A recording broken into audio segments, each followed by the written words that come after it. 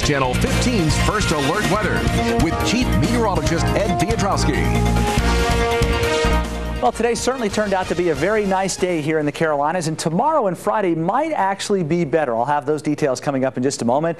Boy, what a day to be out and about. If you were down in Murrells Inlet or out at Huntington Beach State Park, you might have been walking on the causeway thinking, what a beautiful day, the nice rocks by the side of the road, the nice bush, and who would have guessed that there was a gator in those bushes, huh? Right on the side of the road there. That would have been startling indeed. Thank you, Phil Lanoue, for that great picture of the gator sunning himself out there on the causeway. The weekend will, of course, kick off on Friday night. The American Cancer Society has their Relay for Life. The Conway Aynor Area Relay is at Bay Village Mini Mall in downtown Conway. That from 7 p.m. Friday night to Saturday at 7 a.m. And what a night to be out and about 61 with skies no worse than partly cloudy and certainly no rain whatsoever. So have fun, raise lots of money, and help out the American Cancer Society. Your Grand Strand seven day forecast nice and dry 81 on Friday. Slim chance of any rain through the weekend with highs right around 80 to 82 will hover near 80 into the early part of next week with a small chance of a shower storm there as well. Inland expect high temperatures in the mid 80s really through the weekend. A degree either side of 85, only a slight chance of a shower or thunderstorm on Saturday and Sunday. And then, of course, a few more showers and storms as we head through Monday. But again, generally in the mid 80s. It can be so much hotter and so much more humid this time of the year, and it simply won't be for the next two days. Well, we will enjoy it. Yes. All right. Thanks a lot, Ed. Pawleys Island, we've got two inches as well. Same for Murrells Inlet. About an inch and a half in Myrtle Beach, two in Georgetown. North Myrtle Beach and Little River, about an inch. And it's still coming down, but it's been more compact down along the Grand Strand. So how much snow will we get total? Anywhere from three to six inches for many areas across the PD. Already a few isolated spots will go above that as we head through the next couple of hours. Likely two to four along the immediate coast before it ends later on tonight. Here is the timeline for the rest of the night. Between now and 3 a.m., widespread snow. After 2 or 3 o'clock in the morning across the PD, it starts to wind down. About 3 or 4 o'clock in the morning along the Grand Strand, it winds down. And between 3 and 7, it's basically cloudy and cold, but no snow falling out of the sky. And beyond 7 o'clock, we'll gradually see the sun reappear, especially by lunchtime.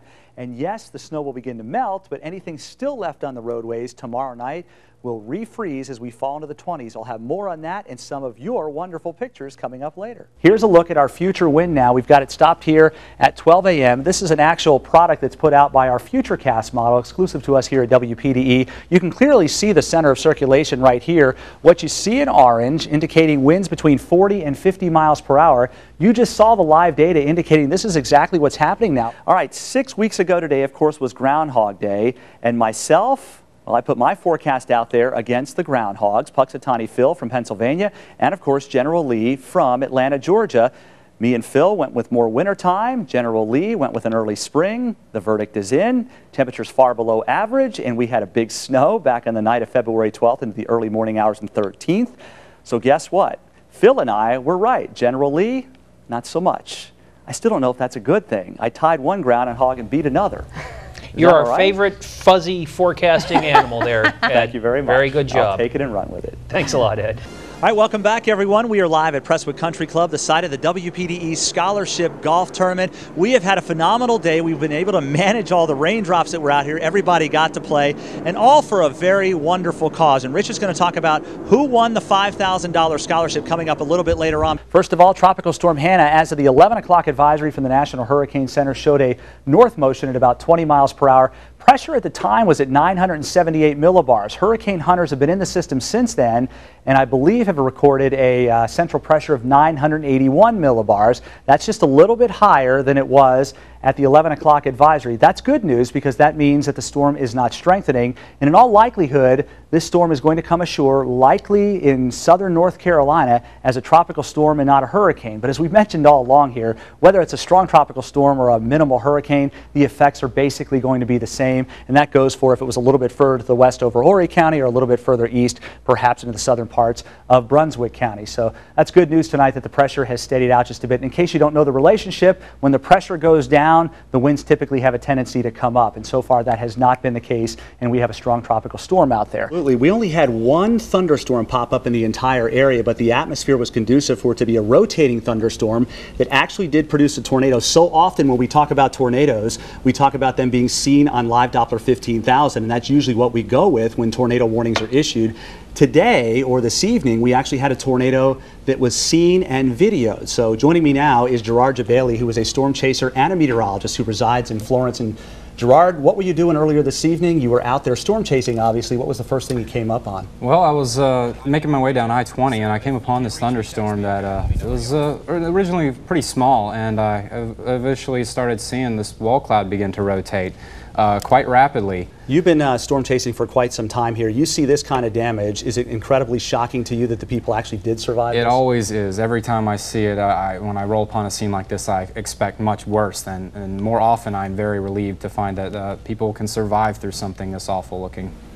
Gerard, thank you very much for the video. We You're appreciate welcome. it. Uh, storm chaser Gerard Jabali, who is, of course, from the city of Florence. And once again, we think it was a tornado that likely had winds greater than 150 miles per hour. Thankfully, given the fact that it was that strong, we had nothing more than just a couple of minor right. injuries. Absolutely. A lot of structural damage, and I believe you've got more on that. We do. Ed, thank you.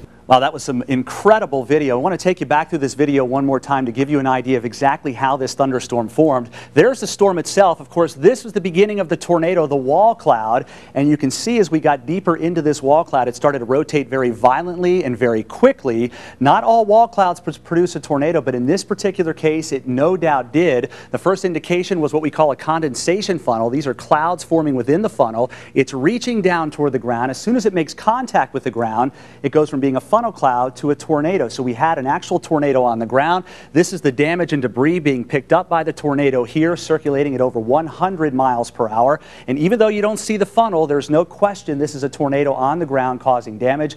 And this, of course, the amazing shot of the tornado just down the road. You can see the actual funnel here and all the debris flying around. This may not just be some paper or tree limbs or anything like that. It could actually be parts of homes like this home that was destroyed by the tornado. And it's incredibly amazing that nobody was seriously injured and nobody killed when that tornado came through. This is a News Channel 15 First Alert Weather Report. Good afternoon, everyone. We have a very serious storm moving through Dillon County right now. This particular storm has actually intensified since moving out of southern Marlboro and northern parts of Florence County. It's exhibiting strong rotation now, very close to the Latta area, moving to the east at 70 miles per hour. If indeed there is a tornado here, it will pass south of Dillon, but through the city of Dillon, there will no doubt be some large hail, I think, as the core of this purple and pink move overhead. But keep in mind, this is where the rotation is right in through here, very close to Latta, and we'll show you that on our velocity scope if we can get to that.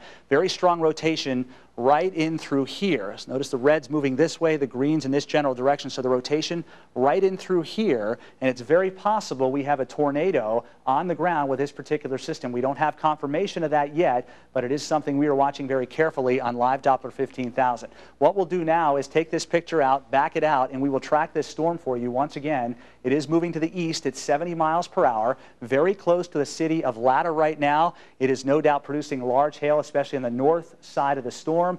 And of course, it's wrapping around, indicating rather extensive circulation. So again, moving to the east at about 70 miles per hour puts it in Latta, obviously right about now. If indeed it holds together, there is potential for large hail, damaging winds, and a tornado in Lakeview in about 30 minutes, 43 in Fairbluff, and then on down the road beyond an hour if indeed the storm holds together into Marlboro or actually into Robeson and of course Columbus counties here as we head through the next hour or so. So a tornado warning in effect for the southern parts in Dillon County. That goes until 615. Is it 615 or 645, Darren? 615. 615. I want to make sure we got that right. Latta, once again, a severe thunderstorm overhead at this point in time that is capable of producing a tornado moving east at about 70 miles per hour, crossing 301, then eventually 57 as we head through the next 10 or 15 minutes or so. This is a serious situation. If you live in the town of Latta or points east of there in the path of this particular storm, your best bet is to get into the center part of your house on the lowest floor, away from all windows. Typically, that's a bathroom or a closet. Make sure you take cover with this particular storm. It is a very dangerous storm capable of producing a tornado. Tornado warning in Dillon County goes until 615. Keep it right here on News Channel 15. We'll keep you updated. Yeah, once we get past mm-hmm. tomorrow, because there'll be quite a few clouds moving in tomorrow afternoon. It'll start with some sun, then become cloudy with a chance for showers in the afternoon, breezy with the highs in the low 70s. Sunshine, low 70s on Wednesday, plenty of sunshine, mid to upper 70s on Thursday, and then boy, beach weather here by the end of the week as we get well into the 80s everywhere. I will trade in my meteorological hat tomorrow for a drive-through hat out at Chick-fil-A from 12 to 2 tomorrow. Come on out to the Chick-fil-A on 10th Avenue North in Myrtle Beach. I'll be happy to serve you lunch, and the great folks at Chick-fil-A will donate 10% of their proceeds to the American Cancer Society. By the way, there was a little bit of history made this I heard year. it was scandalous. Yeah. For the Scandalous. first time ever, a team was disqualified. yeah. What team was that, Rich? We had a very strict no mulligans rule, Mm-hmm. and then a certain chief meteorologist was heard on the ninth fairway Not true. saying, I'm using a mulligan. I did. Well. I took one for the team because the people that were on my team did not want to play in the rain. Stephen So I decided that I was going to take a mulligan, and my good friends out at McAllister's called me on it, so I disqualified myself. You got the DQ, huh? Got the DQ, DQ. DNF, yeah. Oh, whatever. well. It was really him. He We didn't want to get fun. his hair wet. I don't That's like what to get it my hair was. messed up. Have a good night. Good night.